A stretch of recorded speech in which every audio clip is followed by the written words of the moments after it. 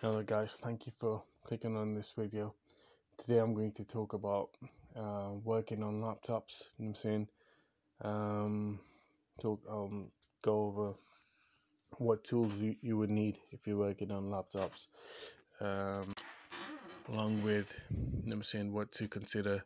You what, what what are your limitations and best practices? You know what I'm saying? So the first thing you would need in order to carry out any laptop repairs is a laptop. Um, toolkit which looks a little bit like this. You know something like this or this even you know this is a good toolkit. It has everything you need you know what i'm saying? Like these plastic bits over here which you can uh, use to you know open up back covers of new laptops and stuff. You know, you need these spudges over here sometimes to, um, you know, again, I'm saying, um, detach wires. I'm saying within the laptop. You know, you got this anti-static wristband. I'm saying one bit goes on to um like you know and this suction thing over here which you can use to lift up LCD screens if you needed to, you know, a little brush, all this stuff. this is very handy. A good toolkit to have, you know, when especially when carrying out laptop repairs. Like even something like this. This is another good one. You know I'm saying? You know, you see something like this. You know, you, know, you get different bits over here, you know, that you can use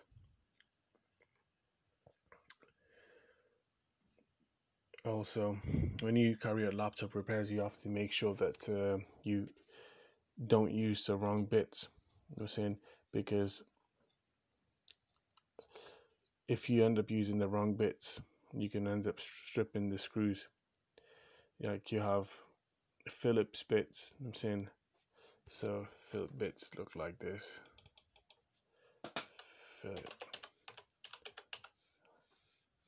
Sorry Phillips screws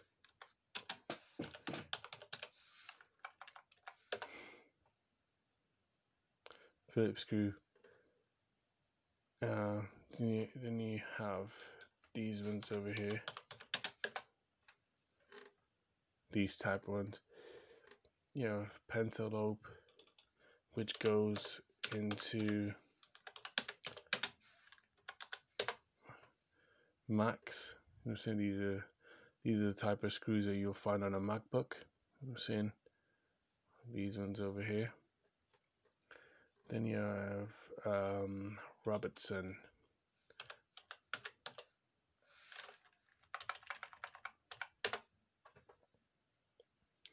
These ones over here. So you can use a magnetized, magnetized screw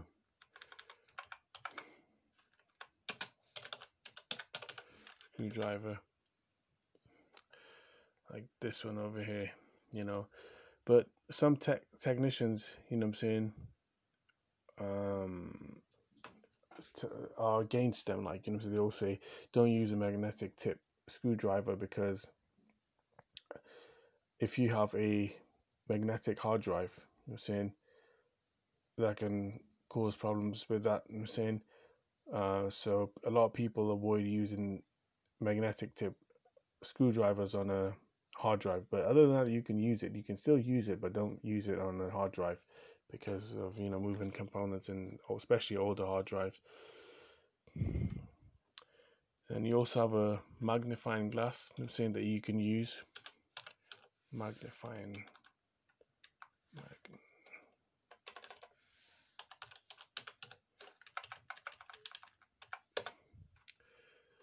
this helps to identify screw types let me say something like this: a mag- magnifier or magnify magnifying glass. I'm saying you can see what screw types are, especially on a Mac, and also helps you identify which screw type to use. But if you don't have it, have it, but you know, you can, you know, bring the laptop closer to your eyes and see, like I'm saying, what type of screws are have been put in there. You know, I'm saying or what type of screws it's been screwed with, the back of the laptop or whatever part your component you're trying to open. Then you have the anti-static wrist strap. So this is another handy tool which you will need, especially when you're in a professional environment, even at home. You know,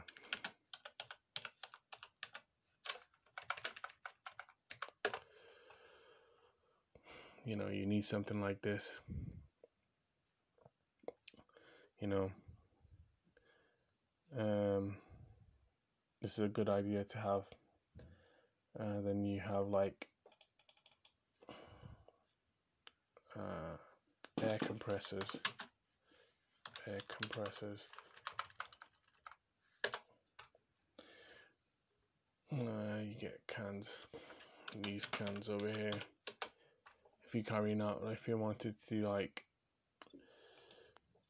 clean up your the inside of your computer, like the fan or you know, say motherboard, use something like this. You know, I'm saying a compressed air can to do that. Uh, you follow the instructions on the but um, can. I'm saying how to use it. So there's two types. Uh, there's different types of repairs. One of the um, like for example, no, no, there's there's something called field replaceable units. This means like something like a motherboard can, for example, if you call let's just say any any any computer company, and your let's just say your motherboard stopped working, they can send an engineer over to your house to with the components that you need. If you tell them, okay, this is the problem, you can send someone over with with the motherboard, and they'll come to your house and replace it for you right in front of you. That's called a field replaceable unit. You know I'm saying? A keyboard is a field replace, uh, replaceable, sorry, field replaceable unit or FRU. LCD screen would be considered one, one of those.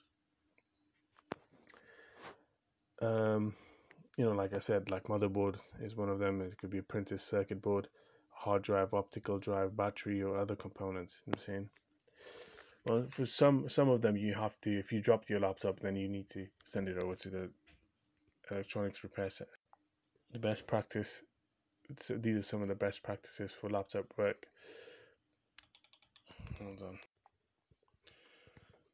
So always set up a clean and quiet area so you're not distracted and have plenty of space so you can spread out the screws you know I'm saying all over the table before you carry out any repairs make sure you collect and view online resources you know I'm saying? Any configuration details or service manual PDFs which can be hard to find. And watch videos from reliable sources. You know I'm saying? If you carry out like you know some research before you open your computer and I'm saying? Then you should be fine. I'm saying? But if you're not sure take it to a professional. You know take it, take it to talk to your manufacturer. Remove any removable removable media say such as DVDs SCD SD cards USB sticks anything like you know I'm saying USB cables that are left in the computer like if you have an external mouse and keyboard plugged in take that out and also shut down your computer completely. Non, don't put it to sleep or stand by standby mode or state. Completely shut it down. I'm saying give it like a minute or two, then you carry out repairs. I'm saying where your anti wrist wrist uh, strap carry on the carry out the repairs. So what you can do is you can go on. Hold on, I'll show it to you.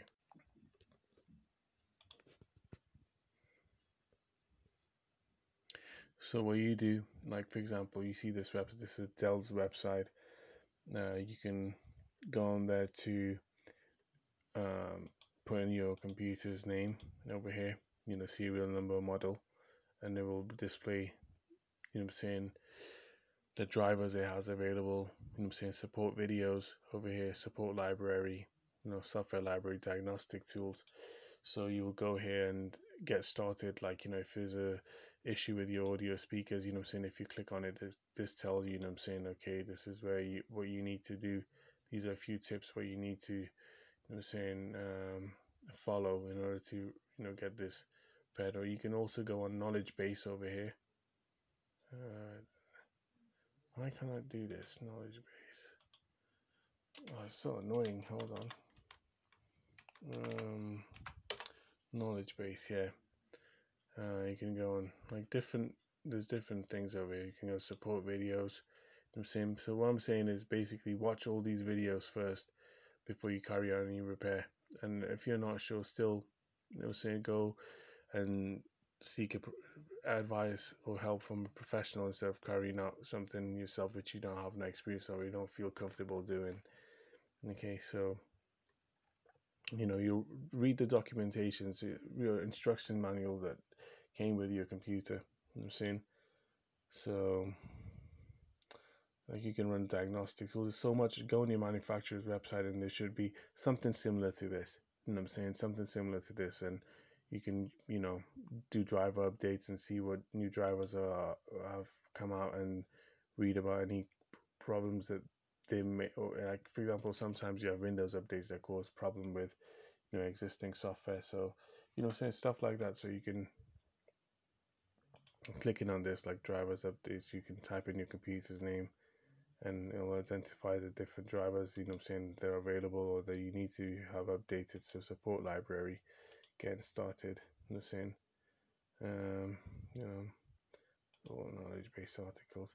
There's there's so much you know i'm saying over here to read through you know i'm saying? This goes into a lot of detail. How to go about fixing things or you know where to find stuff. So do have a look at this. So some best practices for laptop work is unplug your computer from AC power first, disconnect all cables and attached devices, including network, like Ethernet cables, display, like your know, external screens, you know what I'm saying? Take out the VGA cable um, or HDMI cable, you know, say from your computer or laptop, so desktop or computer, laptop, keyboard, external keyboards and mice, so you have plugged in or anything else that you have plugged in. Remove the battery if it's a laptop and press and hold the power down to discharge motherboard components. So once you've taken out the battery, you know, still press and hold the power button. You know, saying you know, to completely discharge any motherboard, you know, saying components, you know, saying and electricity, you know, saying give it at least a 60 second gap before you do anything else. And always re- remove always remember to remove the battery and discharge power. Speaking of batteries i'm saying there are some common laptop maintenance items i'm saying. These are like some common uh, laptop main- maintenance items. So i think it's called uh, pronounced lee ion leon I hope I've pronounced that right. I'm saying my pronunciation is not good. I'm saying sorry. I'm saying um, batteries have high power densities but short lifetimes. Recycle old ones responsibly. So if you have one of these Leon, I'm saying I just call them that batteries. Um, Leon, I think that's how you pronounce. It. I'm gonna Google it ion batteries you know make sure if you've taken them out yeah you you know i'm saying discharge them recycle you know take it to some place where you can safely discharge uh, recycle it you know i'm saying and you can also um you might also need a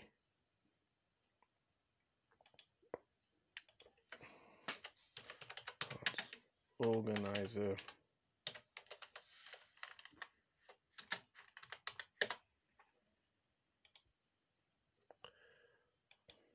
You can have a parts organizer for your computer. And last but not least you can have a head mounted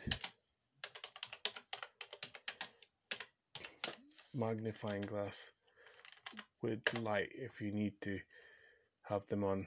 Something similar to what this guy has on know what I'm saying? You know, this is only this is so you know what I'm saying you freeze up your hands.